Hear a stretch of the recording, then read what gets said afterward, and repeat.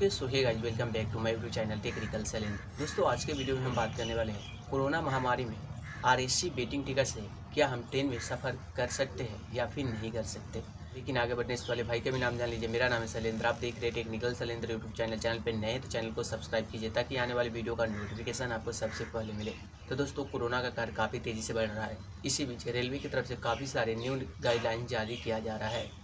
इसी बीच आप लोगों को पता होगा, यदि आपके पास ई टिकट या फिर आई टिकट, वेटिंग है तो क्या हम उस टिकट से ट्रेन में सफ़र कर सकते हैं या फिर नहीं कर सकते? एग्ज़ाम्पल के लिए मैं आपको बताना चाहता हूँ, यदि आपने रेलवे स्टेशन से या फिर आपने खुद से वेटिंग टिकट बुक करा रखे हैं, दस, ग्यारह, बारह, लेकिन वो टिकट चार प्रीपेड होने तक यदि कंफर्म नहीं होता है तो आप लोग वेटिंग टिकट से ट्रेन में सफ़र नहीं कर सकते।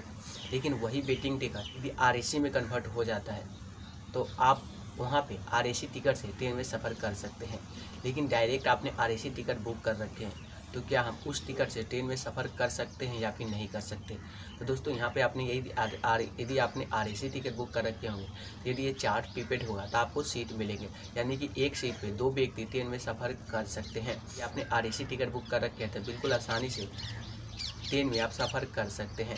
वहाँ पे रेलवे की तरफ़ से आर एसी में किसी प्रकार का बदलाव नहीं किया गया है। बस आज के वीडियो में बस इतना ही। वीडियो पसंद आया, लाइक करना, साथ ही साथ टेक्निकल सलेन चैनल को सब्सक्राइब करना। तो दोस्तों, मिलते किसी और नेक्स्ट वीडियो में।